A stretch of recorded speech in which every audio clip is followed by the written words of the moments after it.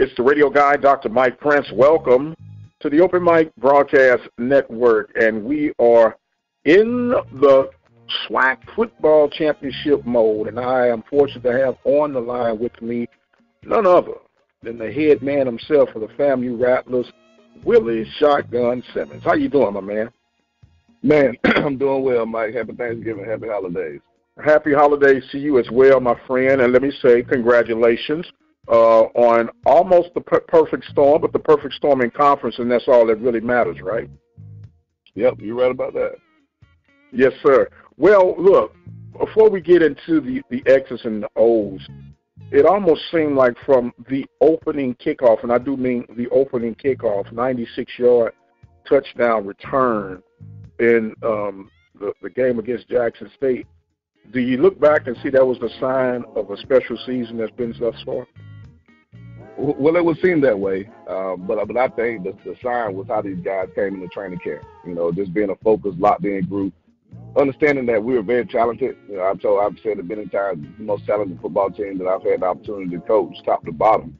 Um, but we've been saying it since day one that talent's not enough. Uh, it, it takes commitment, sacrifice, you know, dedication, and, and, and, and humility uh, to become the team that you're destined to be. And, and these guys have bought into that message and worked hard every day at it. And uh, I think that opened the kickoff all the way through this season. That's just been a combination of all the hard work they put in.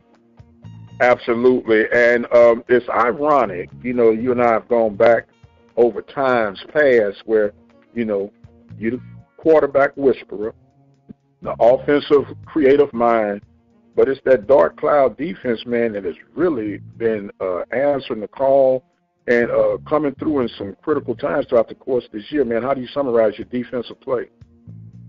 Well, they're the best in the country statistically, you know, and uh, those guys again, the everyday just the, the mental approach that they bring to practice, to games, uh, is really unprecedented. You know, I've been around a lot of great defensive teams in my day, but just the way these guys come to work every day, and you know, they're always chasing something. And uh, we had a goal this year to be the number one defense in the country, and they knew in order to do that, you know, you had to stop the you had to stop the run, you had to eliminate big plays, you had to get people off the field on third downs, you had to find a way to be opportunistic. And, and they've done those things as well as anybody in the country, you know. So it starts with our middle linebacker, Isaiah Major, um, and our defensive line, you know, and then the secondary, the last half of the season, man. I mean, every game getting their hands on footballs. Uh, it, it's just been a fun year. It's been a special group to watch. And as the primary play caller on offense uh, and the head coach, it makes my job a lot easier when you know that you don't have to go out every week and try to, you know, scheme up 30 plus points because you know your defense is going to hold up, and that's been that's been a great uh, great feeling for me.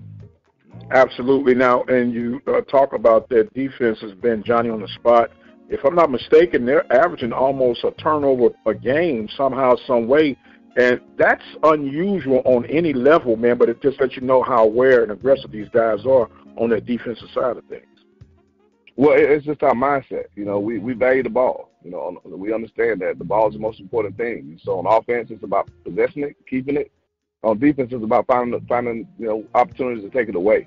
And early in the year, you know, we weren't getting our hands on on a, on a lot of footballs, uh, particularly with interceptions. You know, we had some fumbles and some fumble recoveries, but interceptions we weren't getting getting a lot. And so about mid-season, we really made a point of emphasis during the bye week to really challenge this team to to really hone in on on interceptions. You know, I think at that point in the season, we didn't have an interception. The cornerbacks didn't have an interception, you know, as a group after five games, I believe. And and, and then the end of the season, Eric Smith, you know, has three, you know, and uh, our safeties are starting to get their hands on balls. And so just to, just a commitment to practicing it the way that we practice it, you know, talking about it, making a point of emphasis on it. Uh, those guys have really bought into that, and, and it's manifested itself in, into it being one of the most optimistic defenses in the country. We're talking right now with Coach Willie Simmons of the FAMU Rattlers, East Division champions of the Southwestern Athletic Conference. They'll be hosting the Prairie View A&M University Panthers December 2nd.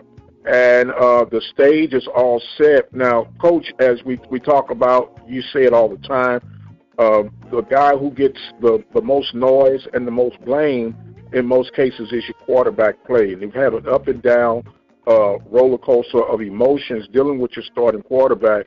How have you weathered him through the storm, through the good and the bad for this season? Well, we had a conversation when he first got here you know, two years ago, And and I told him as a starting quarterback, one, you know that, that you have to have broad shoulders. But when you add on the fact that you're the starting quarterback at Florida A&M University, a place that's seen prolific quarterback play all the way back from Steve Scruggs to Ken Riley and, and, and, and Albert Chester, on up to Quinn Gray, Tina Sampson, Ja'Juan Seider, Pat Bonner, even Ryan Stanley, even. Uh, the expectation is through the roof that you perform at the highest level. And when you don't, even when they don't, it's not even when you don't. It's when they perceive that you don't. Because Ryan, I mean, um, Jeremy's taking scrutiny this year, and he's been SWAC Player of the Week. like he was Offensive Player of the Week, and you would have thought right. he threw eight interceptions in a game. You know, he threw for 300 yards, three touchdowns, and, and took all types of criticism, saying he needed to be benched from our fan base. And so I just talked to him, and fortunately for him, I played the position, played at a school, Clemson, that you know has the same type of expectations and just told them, hey, that's the way it works. You know, it always goes head coach, play caller, quarterback. Well, I happen to be the head coach and the play caller, so I'm going to get them, and then the next guy is you. And so you got to be able to handle that that uh, that criticism, you know, handle the expectations. And he's done a great job of doing it, man. I mean, he's a mentally tough kid. I, I've enjoyed coaching him these last two years, and uh, you know, hopefully we, I got two more with them, and uh, we, we're, we're a much better football team. Our chances to win increase tremendously with, with Jeremy Moussa behind center. Right. Now, you just hit on something, Coach, that I want to touch on if we can. Uh, you've been the head coach and the play caller. Uh, some have proven that they can do it, and some have proven that it's overwhelming in some cases. What exactly is the the secret sauce of being able to have that equal balance? And what are some of the things that people don't really see behind the scene that leads to being the leader as far as the play caller and the head coach that can sometimes be a conflict of interest? Well, I, I'm never one to say that there's a one right way and one, or you know, there's there's never one right way to do it. You know, what I found is that I'm only able to be successful as a head coach and a play caller when I a have great help around me, and b don't try to micromanage. I don't think you can micromanage and, and be a great head coach and play caller. That that's a full responsibility in and of itself to try to run an entire program, but also be responsible for all the plays that go into a game. And so, you know, defensively, my Ryan Smith, his title is head coach of the defense. He's not the defensive coordinator. He's the head coach of the defense. I rarely, if ever, address the defense unless I'm talking to the entire team. But I won't call a, a defensive only meeting. I'll call an offensive only meeting but I won't call a defensive only meeting. The only time I really address the defense again is during team meetings, uh, and then you know our Friday night meetings, you know when we're at the hotel. And so Ryan Smith is in charge of managing that side of the ball. Doc Gamble is our special teams coordinator. You know, I'm a little bit more involved in special teams just because I understand the, the, the nuances of it. But defensively, I really don't touch very much of it. And then when it comes to the other areas, I, I, I try my best. Now I oversee it, so I have I have enough knowledge of what I want to see to know when it's not being done the way I want it to. But I'm not micromanaging those guys standing over their shoulders and, and, and trying to tell them how to do their job. So you have to hire good people around you that you trust, that are self motivated and self driven to be great, and that allows me to focus on the part of the job that I have the most responsibility in, which is setting the temperament of the team, handling the media, fundraising, you know, and and then just again, just trying to make sure that that we're putting our guys in the best possible positions on the field and off the field. And I think that's the key. And there's a lot of guys that try to do it, but if you try to do it and you, you're a micromanager, I just think it'll get overwhelming. You know, you can't serve two masters, right? Something's to suffer. And when you're micromanaging everything, I think the play calling sometimes suffers. And uh, and I think that's been, you know, I think you've seen that across the college landscape um, in, in some of those situations. Now, when did you learn in your head coaching career that this would have to be the best philosophy as far as you're concerned? Um, I, I think just as a play caller, once I became a play caller, I kind of took that approach then. Um, you, know, I started out being a, a coordinator and a running backs coach.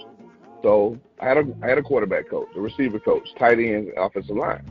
Well, as a as an offensive coordinator, you you are responsible for the entire product so you have to have enough knowledge of each position to be able to see where there are problems and fix those problems, right? But I said right then, I'm not going to coach offensive line. I'm not going to coach wide receivers. I have to coach the running backs to make sure that they're sound in what they're doing and I will oversee the entire operation of the offense. So I just kind of took that philosophy myself back then, and it just it, it grew when I became a head coach. So the responsibilities grew, but my approach to it didn't. You know, I, I, I always said I wanted to be that coach that didn't. I'm just it's not my leadership style. I'm not a micromanager, and so I, I really take great pride in trying to hire individuals again that embody those qualities and principles and traits that I need to be successful. Which is again, you got to be you got to be a self starter. If I got to tell you when to come to work, when to leave, how much film to watch, how to coach your position, and frankly, I don't need you. I, I need to get rid of you and find somebody that can. And I've been blessed to be around some phenomenal individuals throughout my years as a head football coach. You know that that understood that. Not all of them had, and that's why you know you. I'm not with the same guys nine years later that, as I started with. You know back in 2015, and so I, I just think that's the you know for me. Like I said, I'm not saying that's the formula. That's my formula. And fortunately for me, I mean, it, it's led to a, a, moderate level of success at this level. And um, until that success goes away, you know, we'll, we'll keep it that way. Absolutely. We're talking with Coach Willie Simmons of the FAMU Rattlers, East Division champions of the Southwestern Athletic Conference for 2023. Now, I have to ask this checks and balance question, Coach. Um, being on the FCS uh, budget, uh, the the limited challenges and the obvious challenges that you have when it comes to finance, it's got to be very challenging to maintain and um, a, a staff that is empowered to quote unquote do their job and be able to pay them was fair. And then in some cases, and I'm speaking on that FCS level, the head coaches sometimes might have to take a sacrifice in their salary just to kind of spread the love around to keep the guys somewhat satisfied. Do you see yourself in that situation? Well, obviously, like you said, it's really difficult to retain quality coaches. Uh, when you've had the level of success that we've had, um, naturally, uh, people are watching. Everyone's trying to find that diamond in the rough. I mean, we've had a top 10 defense the last three years. It, it's, it's amazing to me that Ryan Smith is still here.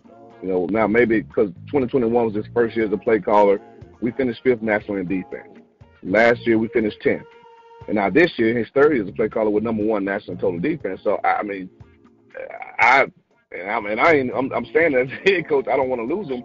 But someone would be crazy from a high level to not come and, and, and talk to Ryan Smith about running their defense. I mean, the, the proof is in the pudding. You know, Markquese Bell, 2021, uh, left. He's with the Dallas Cowboys. You know, starting with the Dallas Cowboys, had a phenomenal, is having, is having a phenomenal year. Well, he's gone. Well, in the next year, we finished 10th in the nation. Well, Isaiah Land, the Buck Buchanan Award winner. You know, Kamari Stevens, uh, a first team All Conference defensive end. They both leave. Well, all we do is come back the next year and finish first. So he's showing that we can play at a high level even while losing phenomenal football players. And so the challenge is yes, how do we how do we pay him a salary that's compensatory with the other coordinators in, in the FCS landscape? Because he's not the highest paid coordinator. He's not even the highest paid coordinator in the conference. I mean, they're guys that make a lot more money than than Ryan Smith makes. You know, I'm not gonna call any names or any schools, but aren't having nearly the level of success that he's having. And so that's the challenge that I have and that I pose to my uh, my administration and my alumni base is say, hey, fair is fair, right? In this country, we, we, we talk about capitalism and you, you you make what you earn, what you what you're worth. He's worth more than the salary that he's making. You know, there are people that would say I'm worth more than the salary that I'm making, but I can't do my job effectively without Ryan Smith.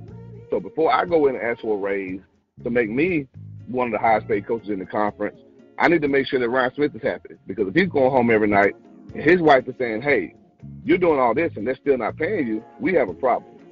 Same thing with our D line coach. I mean, we've had one of the best defensive lines in FCS football over the last three years. You know, Buck Buchanan Award winner.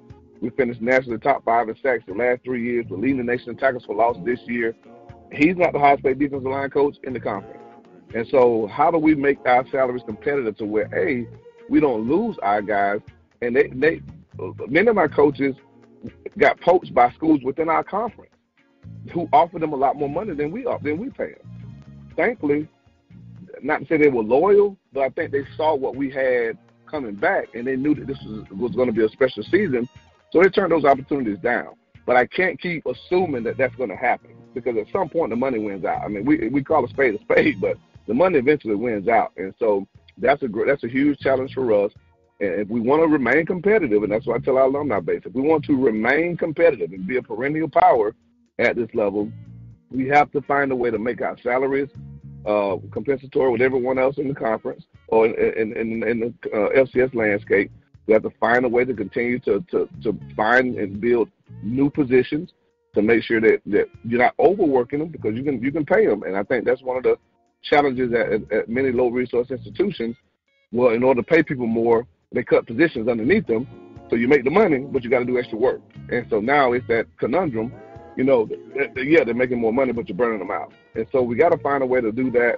And if we can, which I think we can, um, you know, we'll, we'll we'll be able to sustain the success that we're having. But it's definitely a challenge to to, to retain quality coaches these days. No doubt about it. And as they say, the the hand is is faster than the eye, the sleight of hand. So you can try to finagle this as best as you can, but eventually, the money's going to be the bottom line. And uh, going back to your uh, your field of play, you've been operating running back by committee. You got three dynamic backs, and uh, if you could, uh, what each one of those guys are bringing to the table, and you know, I would say yin and yang, but then we need another uh, term for the third one. So I'll just let you go into detail on how dynamic each one of these guys are and what they bring uniquely to the table. No, no question about it. You know, we have a nice little three-headed monster, you know, in the backfield, um, all with different skill sets. Well, you know, it starts with Terrell Jennings. Uh, he's the elder statesman of the group, you know, in his fifth year. And uh, you know, Terrell's uh, uh, you know 225. You know, he, he got the step the speed. I mean, he's broke a 70-yard touchdown run this year a couple of 40 yard touchdown runs this year. So he breaks out in open field.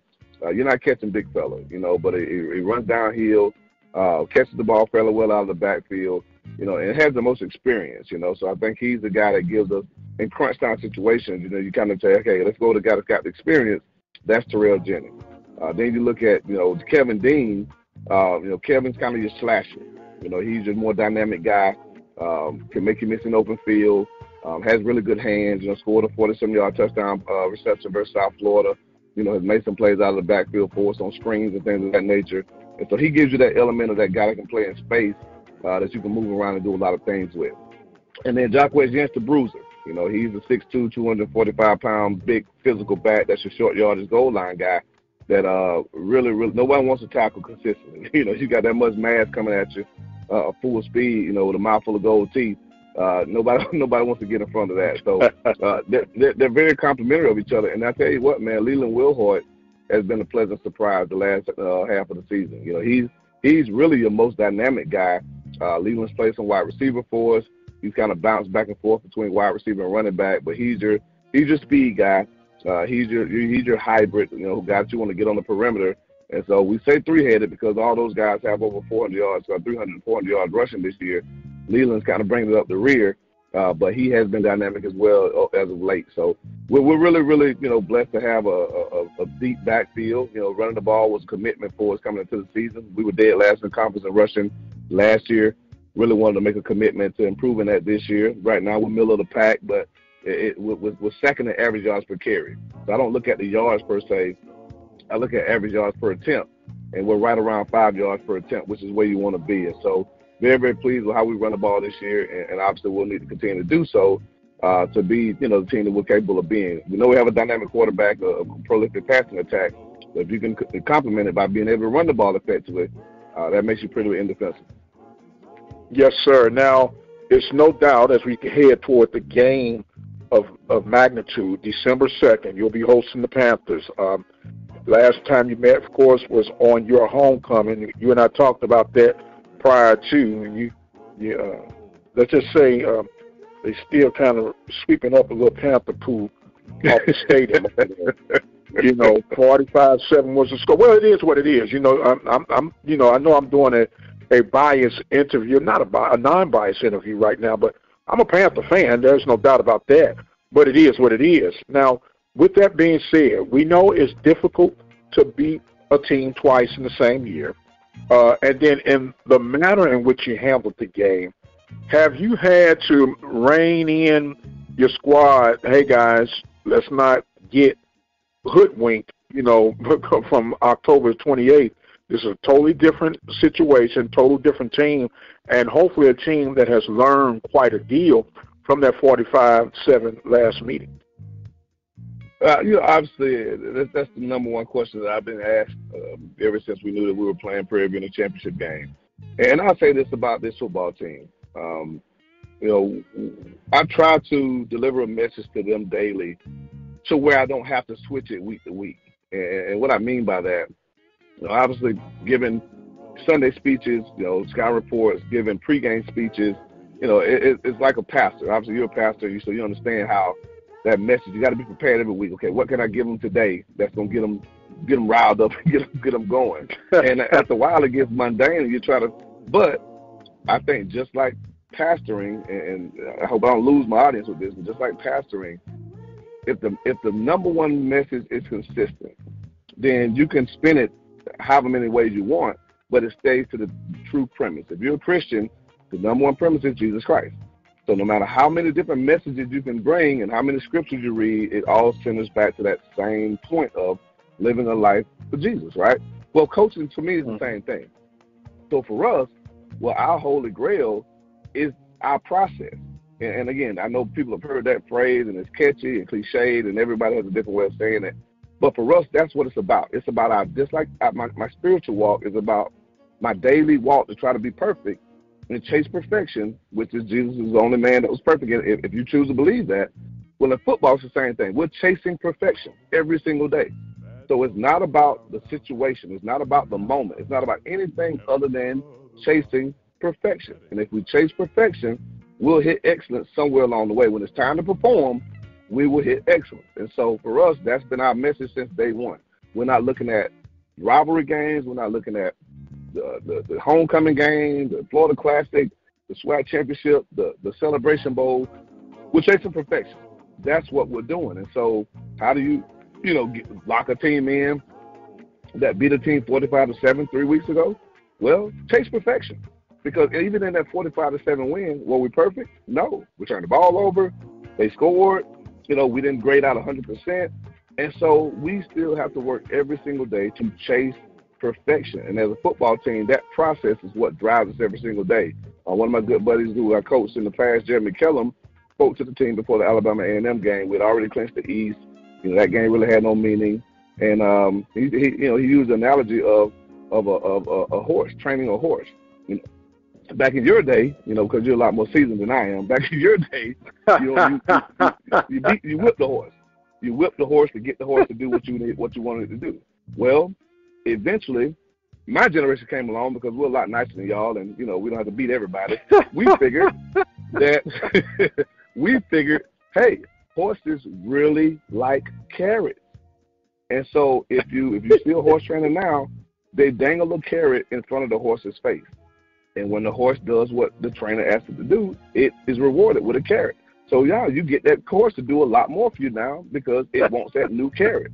So he used that analogy with our football team of now we've eaten the carrot of beating Jackson. We, we ate the carrot of you know winning the winning the winning the Eastern Division. What's our new carrot? And, and so for us, it's about continuing to chase that next goal, that next prize, but doing so all understanding that that process is important. And so those little analogies kind of drive the message home. But for us, it's about the same thing. We got we have to chase perfection every day, be where our feet are, our preparation today is the most important thing that's in front of us, not championship game. Our preparation today. Our guys are, they got time off. We didn't practice yesterday. We're not practicing today. What are you doing today that's going to give yourself a chance to be successful on Saturday?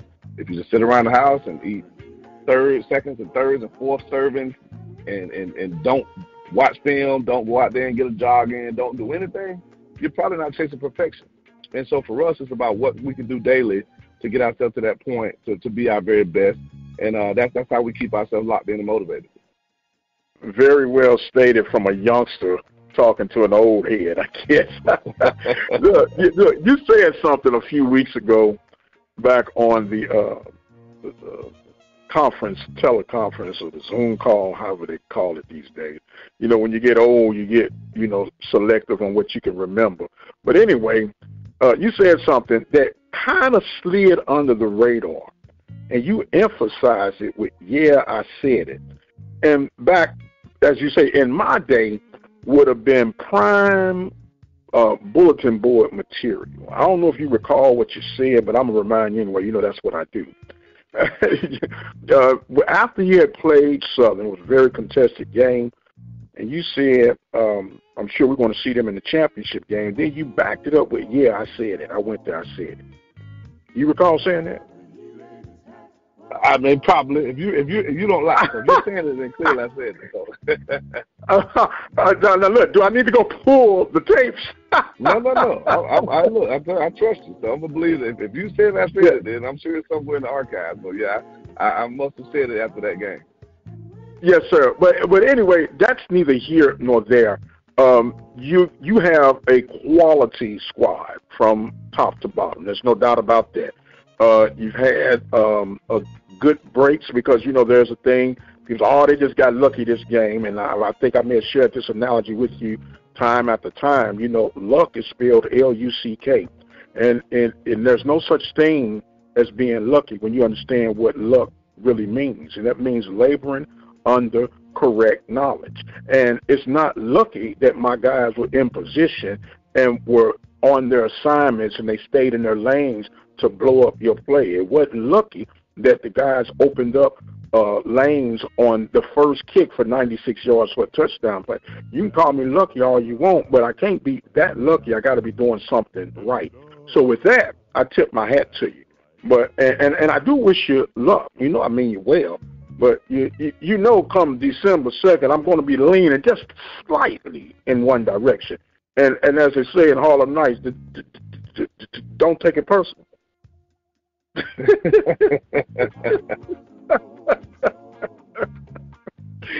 yes, sir. But you know, when when you if you had to summarize your season thus far in I won't say a word. Yeah, let me let me I'm gonna put you to a word. You're a smart dude. How would you summarize your season thus far in one word? Um to summarize our season in one word.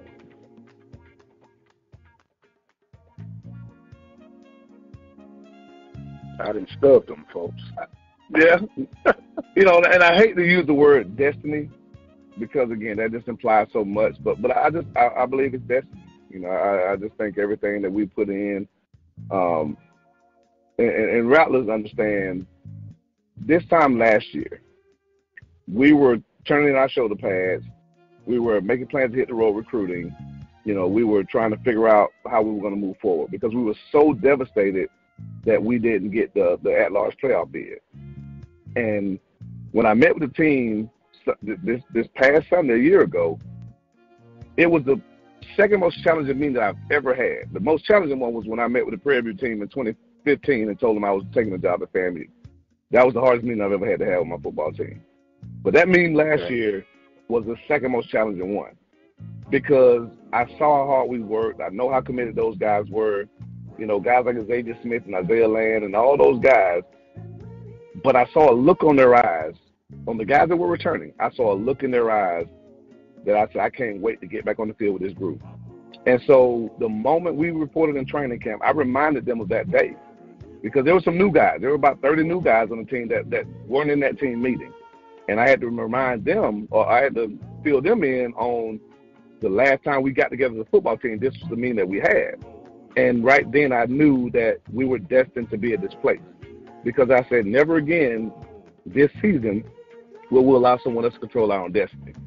And just the way we work, the way that, that, that everyone is bought in, the way that we fought through adversity. I mean, from the rap video to major injuries to you name it. You know, we we we overcome adversity, and that's because our guys have kept their eyes set on the the path ahead of us, and not looking at our rearview mirror, not you know looking around, keeping our eyes focused.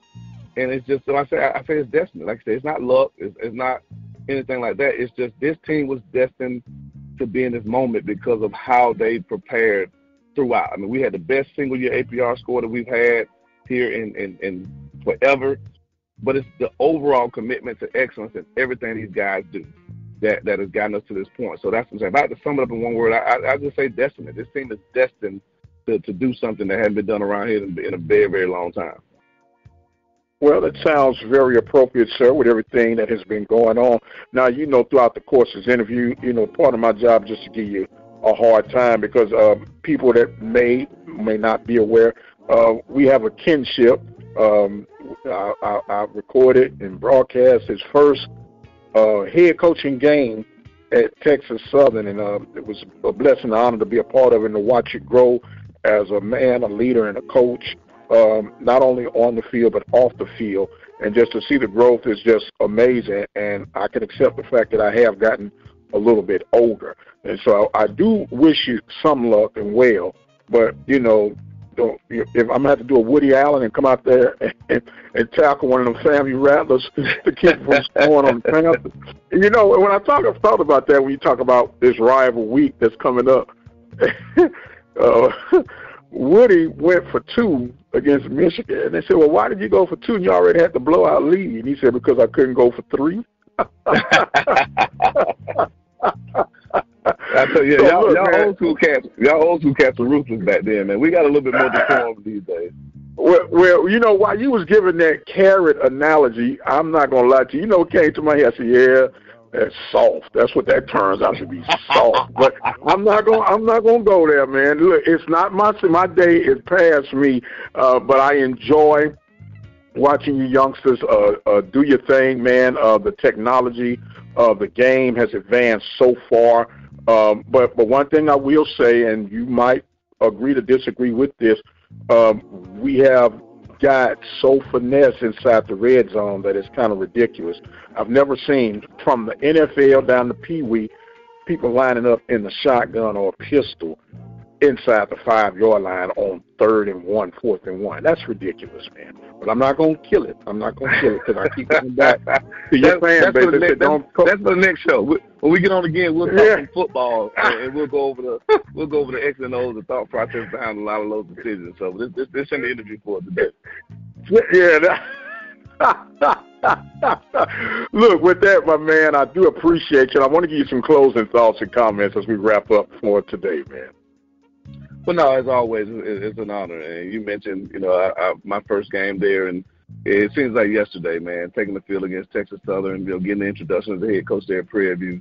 And, uh, and, and our relationship has been just amazing, you know, these last nine years, and I, and I truly honor it, and I truly appreciate it, you know. But again, that that same can be said for Bubba McDowell. You know, I have the utmost respect for Bubba. Right. And um, you know, he, he he did his time. You know, he's been the interim a few times and uh, you know he's been loyal to Prairie View, and, and you know, and I and I hope that the fans there in the administration appreciate that about Bubba, and uh, and, and we're in a changing landscape. You know, you talk about the the you know how our generation has changed, but I think everyone has changed, and evolved to the point now where you know I don't I don't recall back in quote unquote the old days HBCUs terminating coaches before the contracts were up. You know, I, I remember. I, I know about non-renewals. You know, when, when the contract's up, we're not going re- we're not going to renew it for the next season. We're going to go, in another direction. You know, I remember those days. But to see coaches getting fired in their second year, like I, I, I just we got to be real careful of the direction we're going and the message that we're sending. You know, uh, we we and I, and I may get take a bunch of criticism from this, and I'm I'm okay. I, I have broad shoulders. We can't operate. When I say we, I mean HBCUs collectively. We can't operate like Power Five schools operate. The Texas A&Ms of the world, the Michigan States, the, the those schools, they can afford to pay a coach twenty million, thirty million, seventy-five million dollars to not coach football there before their contract expires. You know why? Because they because their players have everything they need already. Jimbo Fisher, Mel Tucker, those guys that have been terminated aren't going out to their alumni begging for nutrition. They're not begging for you know an, uh, weight room equipment or they're not they're not begging their alumni for those things. They're trying to keep up with the Joneses, maybe. They're trying to get bigger NIL deals, maybe. But they're not they're not asking for bare essentials we as HBCUs are going out to raise money every day to balance our budget. To, to say, hey, if we if, if we don't raise money, we're going to be in a deficit, which means we can't even pay our bills. We can't pay hotels to stay there. We can't pay food vendors to feed us. We can't pay bus companies and airlines to transport us. We can't pay apparel companies to outfit us if you if we don't just do the bare minimum. And so we're making decisions to terminate coaches and possibly buy out their contracts, and we still have stuff that the players need. Like, I, I just think that's a that's a crazy proposition to me. I mean, it, it really is. And again, I, I get it. I understand administrators have a very, very tough job. That's a part of leadership is to make those tough decisions, you know. But I just think we got to be careful as alumni base, as a fan base, as, as people who do support our athletic programs. That I, I don't think we're at that space yet. You know, not saying we can't get there, but I don't think we're in the space where we can afford to buy a coach out of their contract. Like in two years.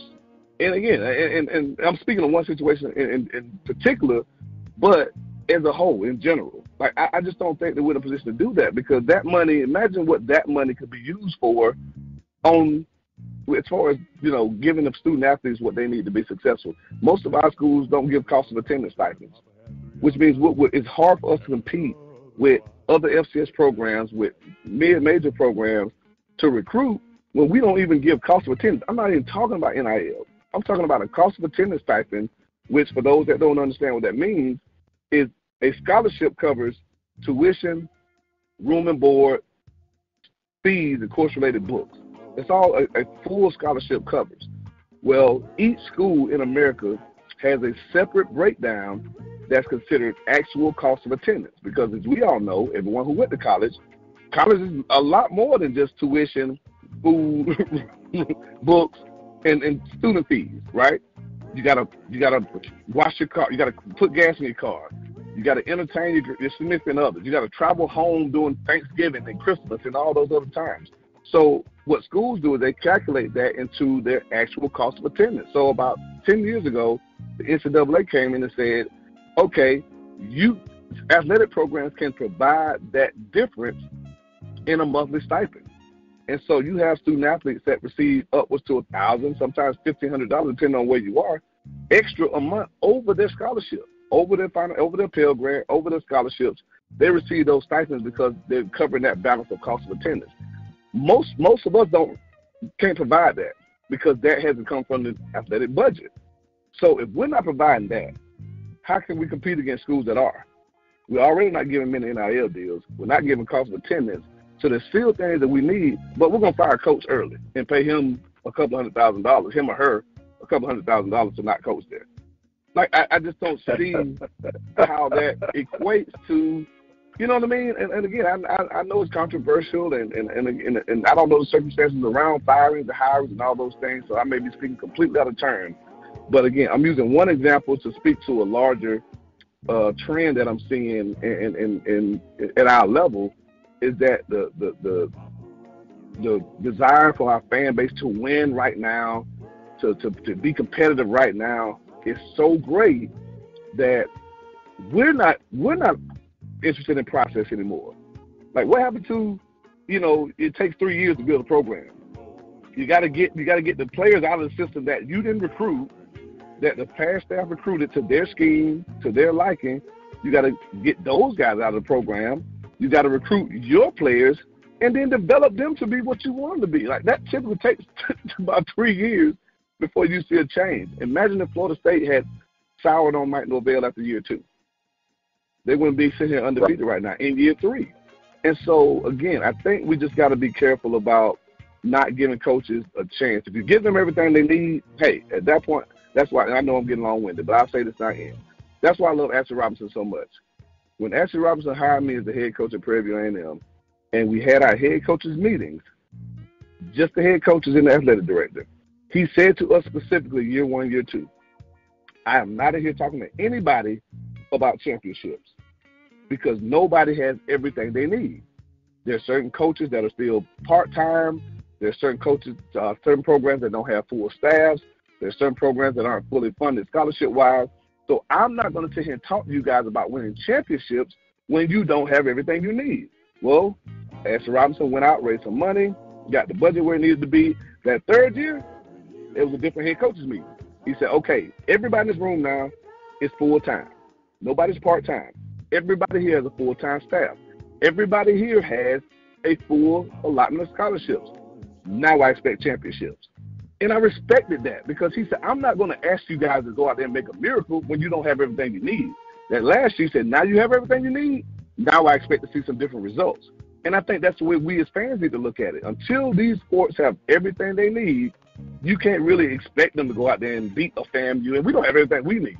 But we've done a great job to beat the FAMU, to beat the a North Carolina Central, to beat programs that have reached a certain level. You can't really expect some of these programs to compete perennially with us if we don't have everything that we need. So again, I know I get long-winded, and get on my soapbox, but but but my heart pours out to coaches at any level, not just football coaches, but other sports as well, that you know have their jobs taken from them, not for insubordination, not for doing something wrong off the field, but just for wins and losses when they don't have all the resources they need to be able to compete at the highest level. So again, I don't know who that message is for, but that, that's just kind of my parting words. For, you know, and that, that, that was weighing heavy on my heart during this this Thanksgiving holiday season. Well, sir, it is duly noted, and I'm pretty uh, well uh, informed that it's going to be well received one way or the other. But you know, you just set us up for one heck of a, a postseason gathering, and so you tell your your fam, you fans, and supporters that yeah, you're going to meet with the old relic again in the off season, and we'll kick the can down the road and we'll go back and forth. But I do want to tell you, man, uh, I am proud of you. I love you like a little brother, and I am wishing you well to a degree. But you know, it's nothing personal. It's just the the spirit and camaraderie of uh, co- competition, and uh, we we do wish you so much success. I want to thank you for making time with us on this holiday weekend. And I know the family is important and they pulling and gathering at you. You spent some time with the old man today, and I truly appreciate it. He is Coach Willie Simmons, shotgun Willie Simmons of the FAMU Rattlers, hosting the Prairie View A&M University Panthers December 2nd, and that's 3 p.m. your time, right? Or is that 4 p 4 p.m. Eastern, 3 p.m. Central? Okay, 3 p.m. Central Time. And of course, the Open Mic Broadcast Network will be there in full effect to help record some history one way or the other. It's going to be the Rattlers or it's going to be the Panthers. But somebody from the SWAC is going to take on the Howard Bison. We'll talk about that later on. But for right now, my time is far spent, and I must exit stage left. Do follow me on X at the Mike Prince Show. Subscribe to the YouTube channel at the Open Mic Broadcast Network. And until the next time, you guys be blessed, and we'll see you on the other side.